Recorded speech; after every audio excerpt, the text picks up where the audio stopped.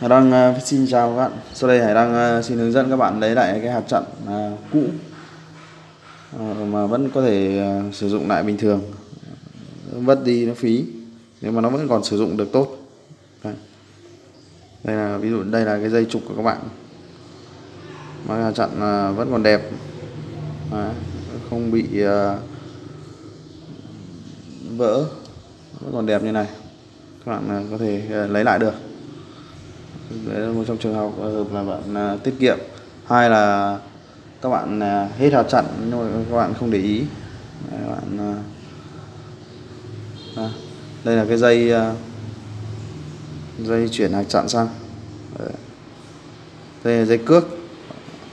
Đấy, cước nhưng mà loại nhỏ hơn cái dây uh, dây đang có chứa hạt chặn này một ít. Không cần thì to hơn ờ, to bằng cũng được, không vấn đề gì. Các bạn ờ, cắt một khoảng đoạn tầm khoảng ờ, 20 đến 30 cm các bạn gấp đôi à?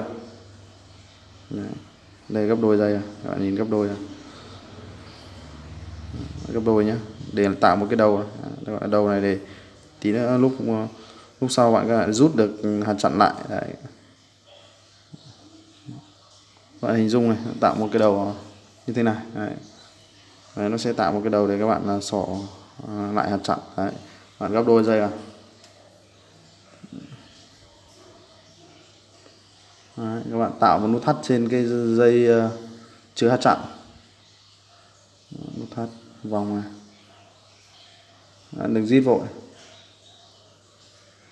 Xỏ qua này. Đấy, nút thắt đơn giản thế thôi. Bạn sỏ dây này thì ờ, sỏ dây cần ờ, chuyển là chặn sang. Còn dài ra để dài dài Đấy, để lại ngắn thôi không cần dài để dài lắm. Đấy. thít cái này bạn thít này nhá. Đấy. dây này nó vẫn còn hơi dài ngoài ngoài thì các bạn để lại vừa đoạn là rút này. Rút uh, rút cái dây tí chuyển là chặn sang này, để lại như này thôi tầm khoảng ờ, uh, 3 đến 5 phân 5 cm Đấy.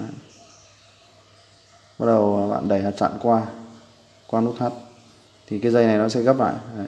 nguyên lý hoạt động của nó này dây nó sẽ gấp như này Đấy. dây nó sẽ gấp như này thì bạn đẩy hạt chặn nó sẽ tuồn qua Đấy. tuồn ca qua như này Đấy. đẩy bắt đầu đẩy này để chặn.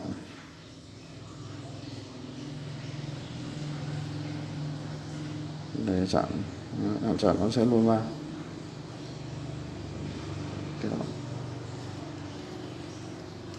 Đó, chặn luôn qua rồi này. Đấy, bạn nhìn này. Sẽ luôn qua dây. Đấy. bạn rút cái dây à, Đấy, qua. Rút ra chặn ra. Đấy thì cái các bạn có thể luôn lại được hạt chặn như thường chưa Đấy. giờ các bạn dùng nó bình thường lại có hạt chặn, lại chặn bình thường Đấy.